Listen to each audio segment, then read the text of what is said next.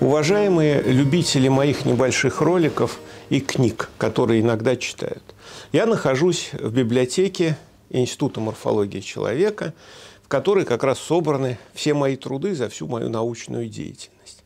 Это очень приятное место с замечательным руководителем, который, от общения с которым я получаю удовольствие. Здесь как раз появилась новая книжка, которая называется «Возникновение мозга человека. Первый том». Это третье, на самом деле, издание э, книги «Возникновение мозга человека», которое вышло 10 лет назад.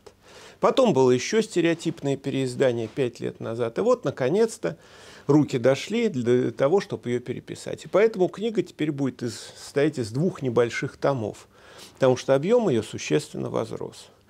В этой книге я разбираю все новейшие сведения о происхождении головного мозга позвоночных, и в первую очередь млекопитающих, поскольку это наиболее близкая к нам группа, и рассматриваю те антропологические, палеонтологические данные, которые привели к изменению наших представлений об эволюции мозга гоминид и человека. Первый том является введением в тему и заканчивается как раз австралопитеками, то есть теорией возникновения бипедальности, о которой я уже неоднократно рассказывал.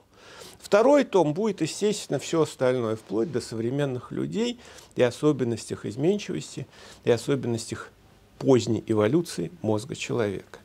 Эта книжка содержит не только новые сведения, но и новые заблуждения, которые выделены в отдельную главу по мифологии. Она находится как раз в первом томе. Книжка скоро поступит в книжные магазины, и можно будет ее заказать через сайт издательства «Веди». Желаю хорошего чтения и надеюсь, что вы получите удовольствие от этого занятия. До свидания.